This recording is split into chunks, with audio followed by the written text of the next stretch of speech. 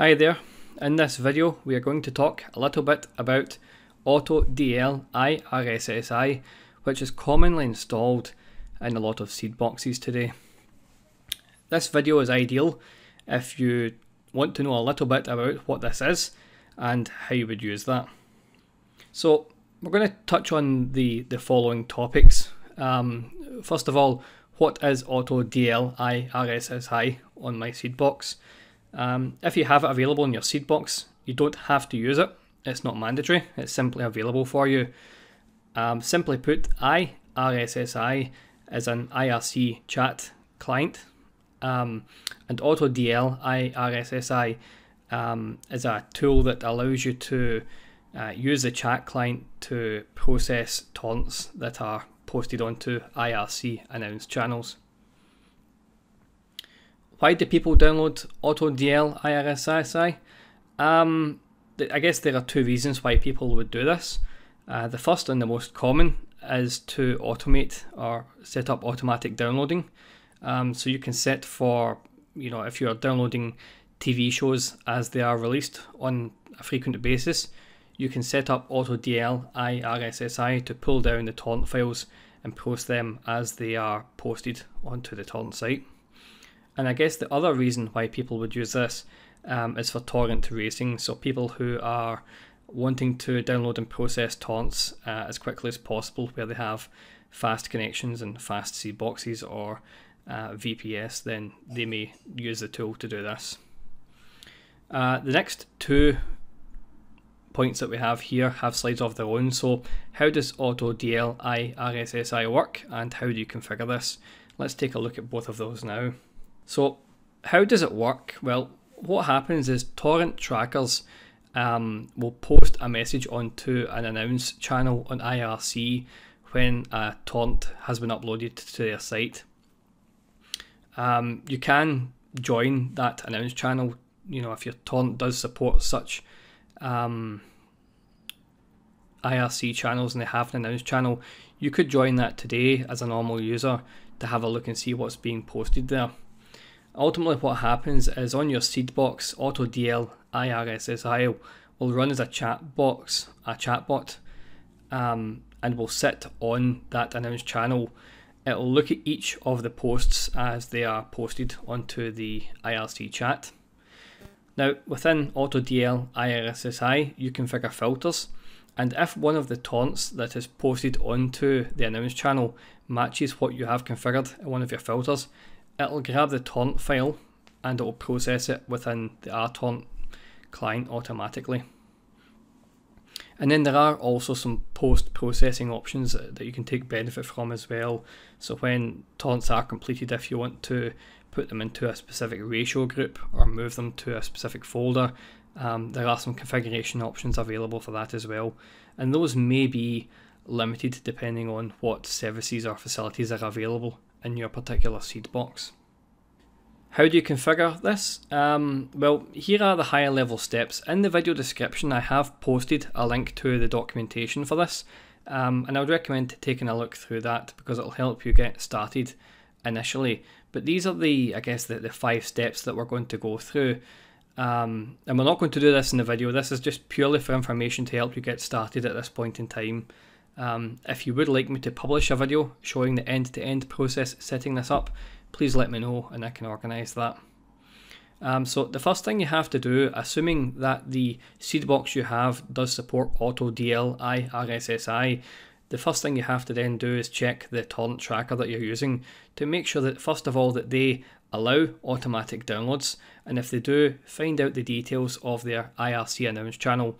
So this is where they are posting any details of new torrents as they're posted.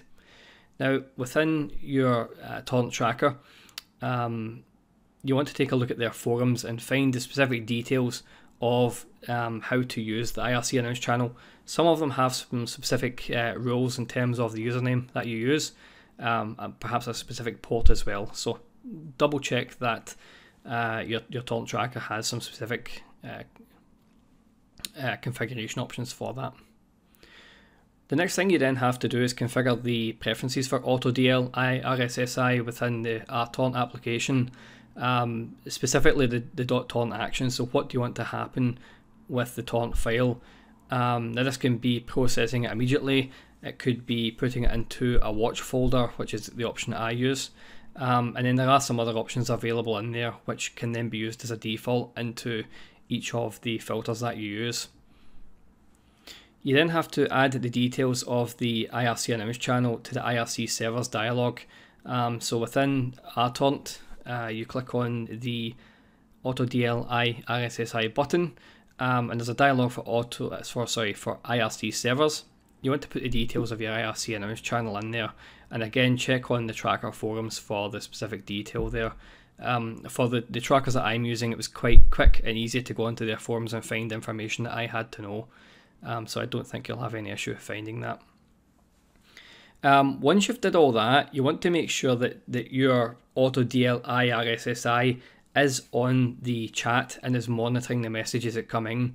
Um, now, the quickest way of doing that is to, to join the IRC server for your particular torrent tracker and use the whois um, command to see one that, the, that your chatbot is on there and that they're in the correct room or they're on the correct um, they're on the announce channel and watching that.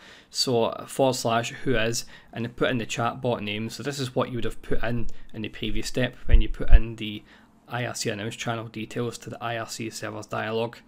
When you put that in there, it'll tell you information such as um, yes, whether it's there or not, how long it has been online or idle for, and that it's in the announce channel or if it's not. Um, in some trackers, you can actually join the channel and look at the user list yourself to see um, that your chatbot is there. And then the final point, which is the, the most important one, and will probably take more time in the process here, is configuring the filters for AutoDL IRSSI. Um, so one thing you can do as a test, and what I do as a test, is to create a filter with nothing defined in there. In, essence, that will download everything that's posted onto a particular tracker. It's good to do that um, just as a test to make sure that torrents are pulling through. Okay. What we're going to do now is take a look at some filter examples. So typically, I find um, creating filters on AutoDL, IRSSI, and rtorrent is pretty intuitive. The fields are pretty clearly defined with show name, season, released group. Um, you can pick the type of encode you're looking for, uh, the resolution. It's all pretty self-explanatory. Um, but on the second point here, we'll, we'll come into what isn't so obvious. Um, so you, you, can use a question mark and an asterisk as a wildcard to define um, the behavior here. So the example I've used is The Walking Dead.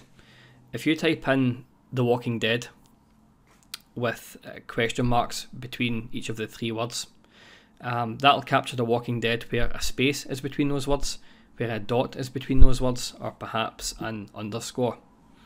But it wouldn't capture The Walking Dead without any spaces in there. I hope that makes sense. Um, it's worth looking at yourself to understand that. With an asterisk in place, it'll capture anything after the asterisk as a wildcard. So again, the example I've put in here is The Walking Dead with question marks between the words and an asterisk at the end would capture almost everything um, that had been posted for The Walking Dead. You can then add, um, for example, uh, a season number with E and an asterisk to capture only episodes within a specific season. Um, you can also add file size filters in there as well. So if you were concerned about capturing season packs or stuff like that, you might want to consider a file size filter to narrow that down. And and lastly, the, the last bit of advice I have um, is just to go into your torrent tracker and perhaps also the IRC announce channel to have a look at the format that your torrent tracker is posting the uh, the messages as on the IRC announce channel and, and that'll help you understand how you have to configure filters to make that work. Um, in my experience, it, it, took a couple of revisions to get it working perfectly to how I want it to, um, but uh, you know it didn't take long at all. Um, so it's a little bit of trial and error to have a play around with that. I hope this gives you a good understanding as to what AutoDL RSSI is on your Seedbox. If you have any questions, please comment them below. Um, and if you would like an end-to-end -end setup video, please comment below and again, I'll make that. Thanks for watching.